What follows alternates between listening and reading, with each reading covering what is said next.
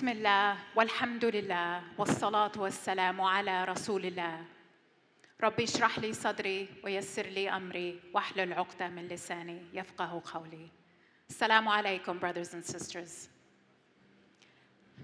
The topic that I've been given today almost seems difficult to talk about. Narrative, abstraction, word choice, amid the bombardment and death that we are viewing in Gaza today. How can we talk about words and concepts and stories when people are losing their lives, when they don't have electricity, when they can't even bury their dead? But I would submit to you that the carnage that we are seeing today is the sharp end of a long spear made possible by the narrative that we must dismantle. It's a narrative that cost a six year old Palestinian American child in Chicago his life when his 71 year old landlord, who used to play with him, stabbed him 26 times and injured his mother while spewing death to Palestinians. By his own admission,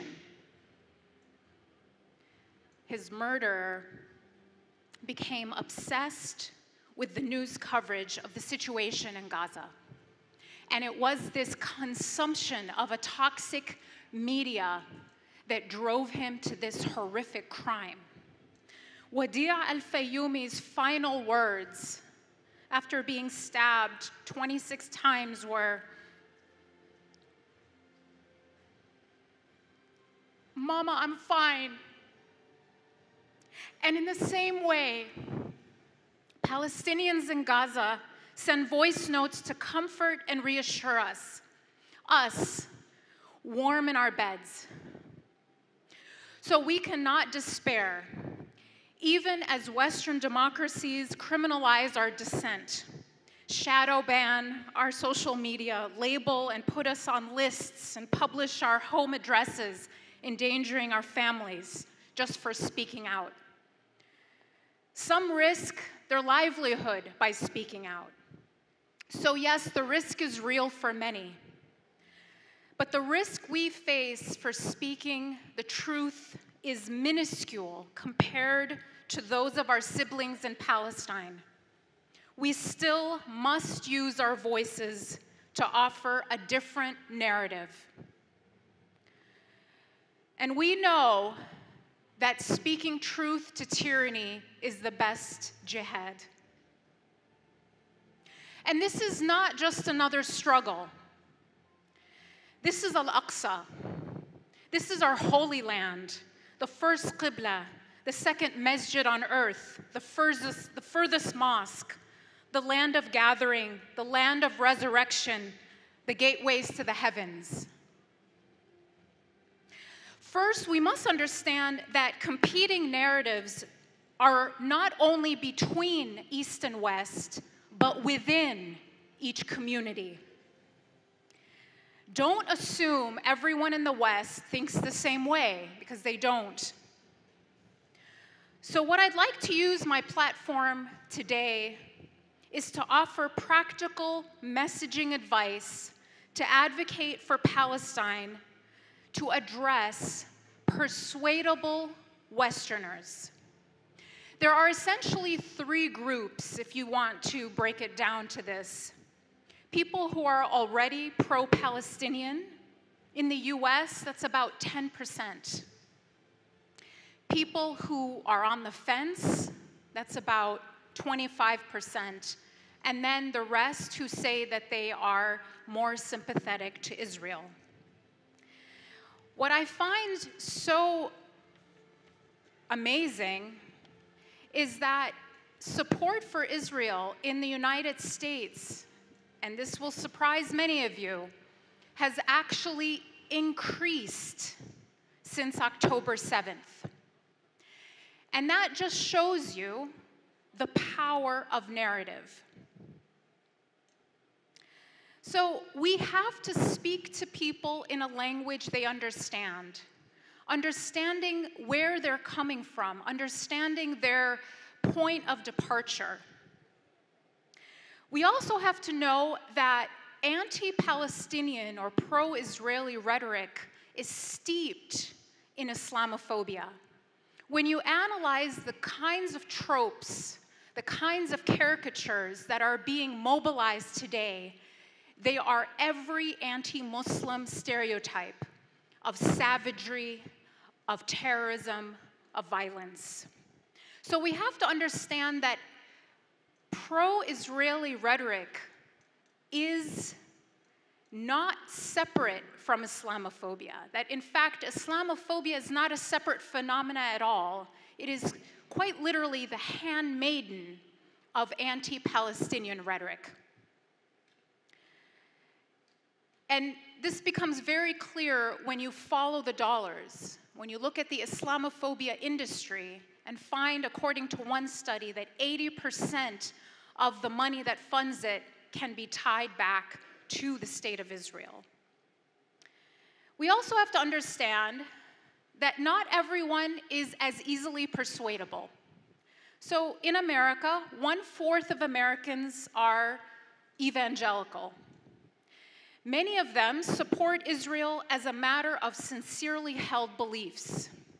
Though younger evangelicals are less likely than their elders to hold this view and can be engaged, I would recommend that you focus your energy on the movable middle that is not religiously bound to Zionism, and that is most Westerners. Most Westerners are not religiously bound to Zionism.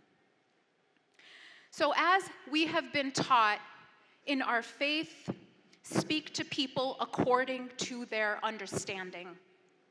In other words, it's not what you say, it's what people hear. So, how do we advocate if we want to win more people to the side of Palestinian liberation? And what I'm about to present to you, these recommendations, are the result of my study of the pro Israeli messaging playbook, which was leaked and sent to me by a friend. I studied this messaging, this essentially this messaging uh, document very carefully, and it was from that. Uh, from that study, from that document, which was very well researched in terms of the kinds of words to use, what messages work with American audiences and Western audiences in general, and which don't. It was based on studying the other side's messaging document that I came up with the following recommendations.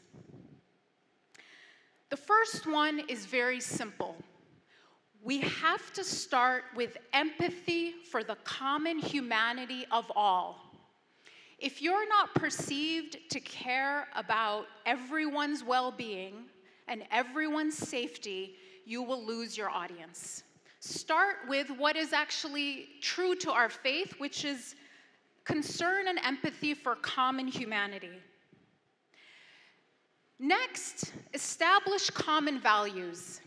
Palestinians want what we all want safety, freedom, a better future for their families.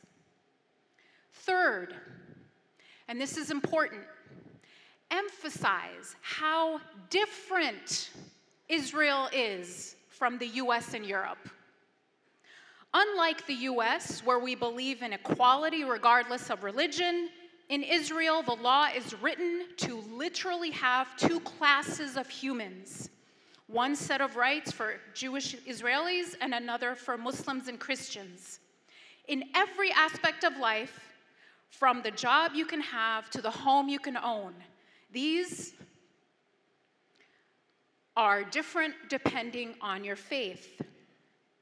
Imagine if this is the case for Israeli citizens of different faiths, imagine how occupied people are treated. So, one of the key points in this messaging document is to talk about how similar Israel to the US and Europe.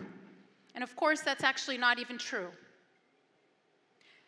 The fourth thing I'd recommend is to speak to young people and keep using social media. I'm going to share with you one statistic that really surprised me.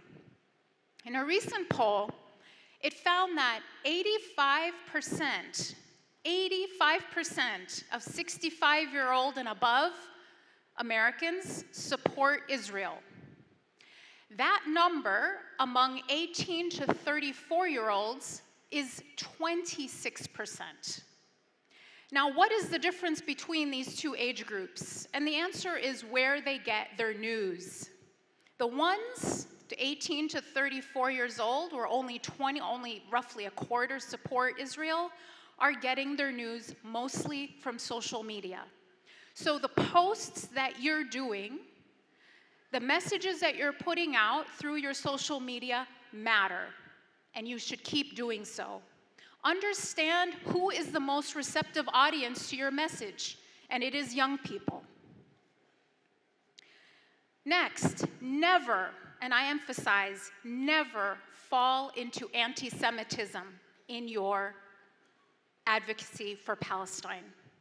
First, because it's immoral and against our faith, anti Semitism is a, uh, a phenomena of the West. It was originated in the West, and it's not something part of our tradition at all. And second, because it's very ineffective.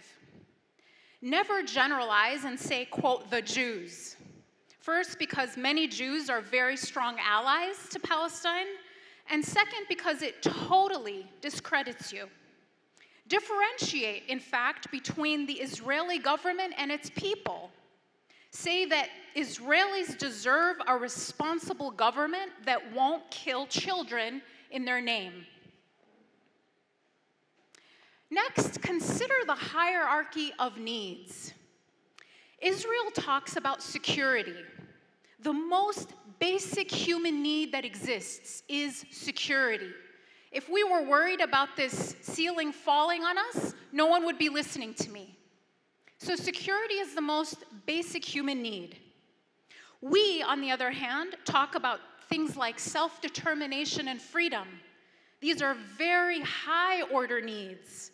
So, we say free Palestine. It's beautiful, it's inspiring to us, but it's very abstract. And it's the highest order need self actualization, freedom, versus the lowest, most basic need security, having the right to defend yourself. Yet Palestinians are completely deprived of safety. Palestinians have a right to defend themselves as well. We need to talk much more about Palestinian security. It can never become a dichotomy between Israeli security and Palestinian autonomy. We will lose every time. We need to discuss and emphasize the lack of Palestinian security. You gain credibility by conceding a point. Concede that no one is perfect. Yes, in their desperate attempt to secure their families from daily aggression, Palestinians make mistakes. This, this actually builds credibility. Refuse to defend or condemn Hamas, since you and I are not responsible for them. In fact, take righteous offense at being asked. If you're questioning if the killing of children offends me because of my ethnicity and religion, then it is you who owes me an apology. You can condemn in principle the targeting of non combatants. But here's the bottom line, and this is especially for Westerners I don't fund Hamas, they don't answer to me. You and I do, as Americans at least, fund the IDF in the order of billions of US dollars. They should answer to us. Focus on the children. Gaza is an open air prison that has become an open air children's graveyard. Focus on the harm of violence, even to the goals or the so called stated goals of Israel. When has violence worked against Hamas? While it destroys the already unlivable lives of innocent Palestinians. Speak in terms of needing equality. Westerners, Western audiences understand equality. So educate them on how unequal the situation is. Emphasize, this is very important, how asymmetrical the situation is. This is in terms of military capability, resources, especially in terms of body count and children killed. The other side wants to make it about a conflict. When we talk, why does it why is it called a war when it's actually a genocide? Why do we call it a conflict when it's when it implies two equal sides fighting each other and it's anything but? It is what it what they don't want it to look like is a, a, a matter of a David and Goliath type situation. And so you must emphasize that that is, in fact, what it is. That there is asymmetry in power, asymmetry in resources. This is not two equal sides fighting each other like uh, the Cold War or something. Focus on the future and what that will look like if we succeed. Now, this is difficult because many of us want to talk about the past.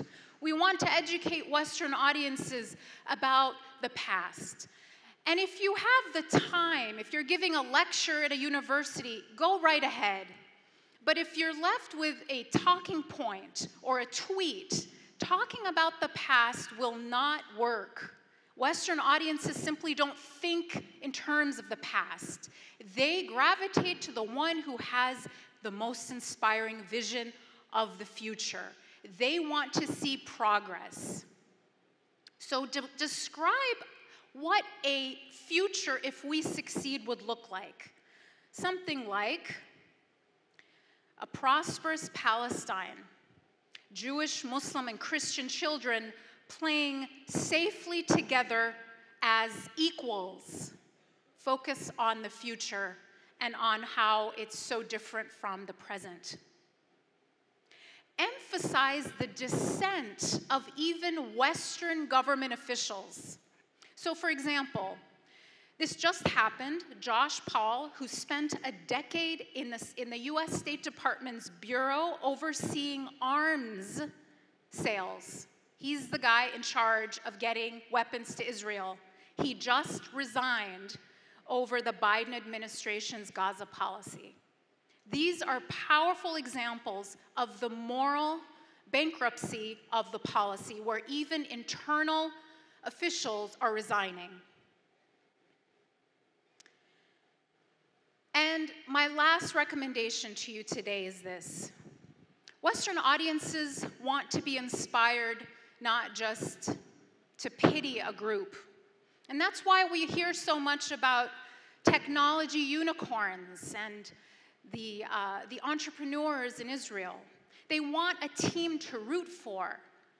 They want to be on the side of people who are, quote, successful and smart and innovative. So give people a team to root for in Palestine. Talk about common humanity. Palestinian accomplishments and cultural contributions. There's a reason we all hear about hummus being Israeli. This is not like all just like a coincidence. The idea of appropriating Palestinian culture is very deliberate. Don't allow it to happen. Palestinians aren't just victims, they are survivors. Despite the neck breaking oppression Palestinians are entrepreneurs. They are brave survivors of oppression and occupation and daily murder. and yet still have phenomenal businesses and tech startups and their artists and their poets and their phenomenal artisans. They won't allow the situation and the oppression to rob them of their humanity. Talk about Palestinian humanity and ingenuity. So, in summary, start with empathy for our common humanity, our common human needs of safety first and then justice, and then call for an end to apartheid. As uneven as the resources, the most valuable resource of all is on our side, and that is the truth. Let us present it to the world. Thank you.